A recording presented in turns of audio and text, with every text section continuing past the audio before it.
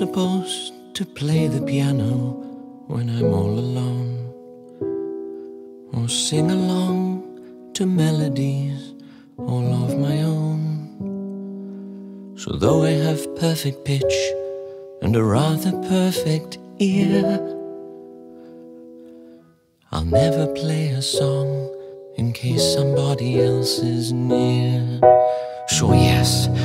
Rather bored and could use some release.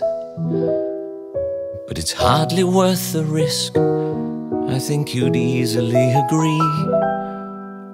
I could play a rocking solo, yes, believe me, I could shred.